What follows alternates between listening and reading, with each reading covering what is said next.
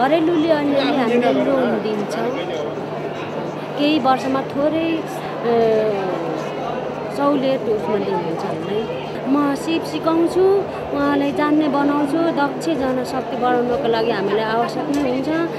जान उहाँहरूलाई चाहिँ अब एउटा दुईवटा धेरैवटा चाहिँ सिक्न जान्नुहुन्न दुईवटासम्म सिकाउ सिकाइदिन्छु त्यसपछि म आफै नै कामदार बनेर राख्छु। उपभोक्ताहरूले चाहिने अनुसार सामान आफूले उत्पादन गर्नुपर्छ दिनुपर्छ बजार राम्रो छ।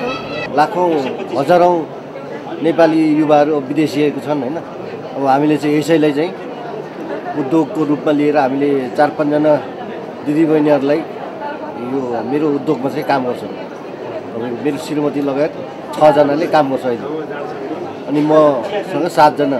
मैले चाहिँ बाँस ल्याउने बोक्ने काट्ने अब आइमाईहरूले त सक्दैन त्यस्तो बाँस काट्ने बोक्ने। म चाहिँ यो काट्ने र बोक्ने लिएर आउने अनि उनीहरूले सबै उनीहरूले नै काम गर्छ उपभोक्ताको माग त अब तपाईँको अहिलेलाई राम्रै छ। बजार लिएको छ अहिले हाम्रो यो माग पुरा गर्न सकेको छैन यो घरेलु उद्योगबाट सहयोगबाट हामी तालिम प्राप्त गरेको हो। यो मन्दिर बनाइन्छ टोकरी बनाइन्छ फुलदानी बनाइन्छ घडी बनाइन्छ कलमदानीहरू बनाइन्छ माछी काँडे बनाइन्छ Adidas, werde ich mit von